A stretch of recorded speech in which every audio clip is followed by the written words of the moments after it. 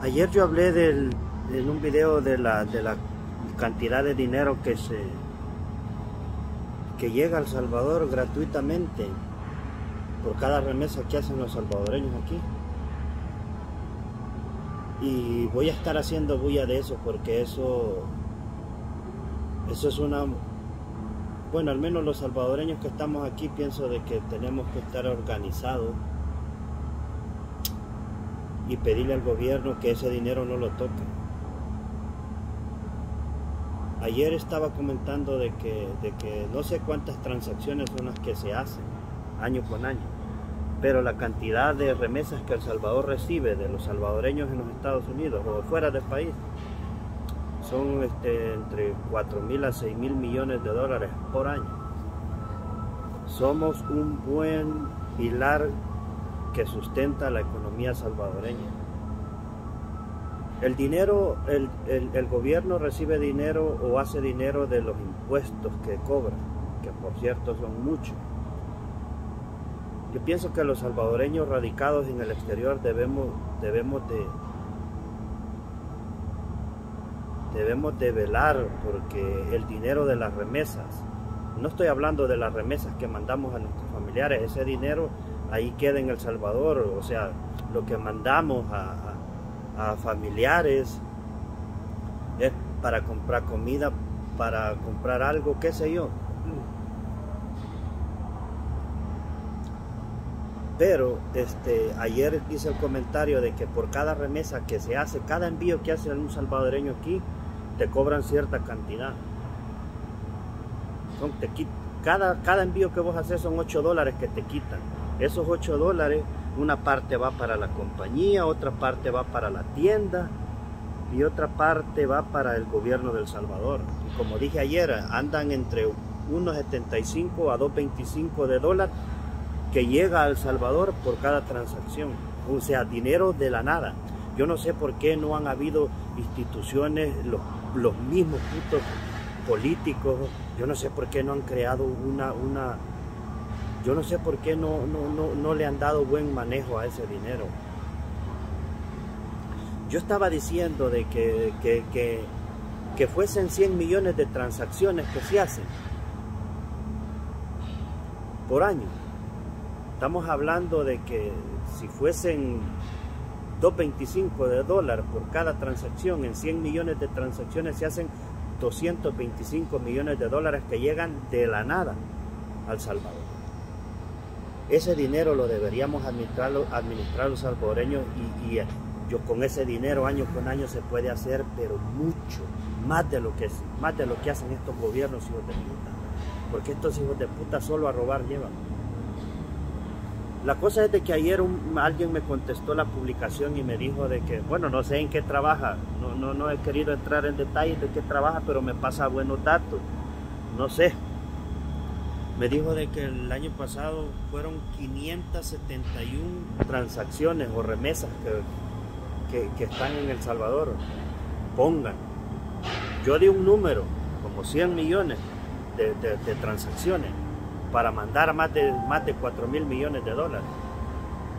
Es que yo no sé si la gente entiende la cantidad. 4 mil millones de dólares es un talegazal de dinero. Pero de ser cierto, si alguien puede confirmar que esa es la cantidad de transacciones que se hacen, puta, alguien se está robando el dinero por las remesas que enviamos, que es dinero aparte de todo lo que recoge el Estado. Con ese dinero, hasta, hasta con ese dinero podemos ponerle hasta transporte gratis a todos los niños de las escuelas en El Salvador, así como aquí en Estados Unidos pero yo no sé, las instituciones, las instituciones que representan o, esas organizaciones que representan a los, a los americanos, a, los salvadoreños aquí en Estados Unidos, yo no sé por qué, yo no sé por qué no han hecho eso. Yo me puse a pensar de la nada hace un par de días en eso. Y oigan, si, si, si son la información que me, que me mandó ese vato ayer dice que son 571 millones de, de remesas de transacciones los bancos y las instituciones financieras reportan, eh, hacen ese reporte al, yo me imagino que al Ministerio de Hacienda. Y ahí es que eso está bien contabilizado, ahí no hay vuelta a Dios. Ahí se puede determinar con exactitud cuántas remesas y, dependiendo y de la, dependiendo la cantidad de remesas, así es la cantidad de dinero. Pongámosles que no fueron las 571, le vamos a poner menos. 500 millones de, 500 millones de remesas que se enviaron solamente el año pasado. Y vamos a poner la menor cantidad, que sea uno de los 8 dólares que los salvadoreños pagamos por cada remesa que enviamos. Que paguen este 1,75 de dólar que llegue al Salvador de, de Choto. En 100 millones de transacciones son 175 millones de dólares. En 200 millones son 350 millones de dólares. En 400 remesas o transacciones, 700 millones de dólares. Más otros 175, 700, 875 millones de dólares que se enviaron solo los salvadoreños ayer en las remesas. ¿Quién se está robando ese dinero? Se lo estarán repartiendo entre el Ejecutivo, entre la Asamblea Legislativa y todos esos hijos de puta. ¿Quién lleva control de eso? Así en buena onda. Salvadoreños. Al menos los que estamos fuera del país debemos exigir que ese dinero, hijo de puta, no lo toquen. Ese, con ese dinero, como les digo, lo podemos gastar en, en darles, proveerles transporte gratuito a todos los niños de El Salvador, a todos los que, a los estudiantes, al menos del, primero a noveno. Se puede. Y esto es que solo estoy poniendo 500 millones de transacciones, porque según lo que me mandaron eran 571 transacciones solo el año pasado. Solo el año pasado. 875 millones de dólares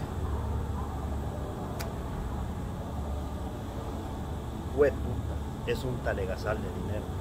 Es un talegazal de dinero que nadie dice nada, ni en el Bueno, al menos si alguien tiene información de eso, de qué es lo que se hace con ese dinero, sería bueno que me lo dijera y qué es lo que se está haciendo. Yo pienso que con eso se puede hacer muchísimo por El Salvador sin necesidad de estos gobiernos hijos de punta que llegan.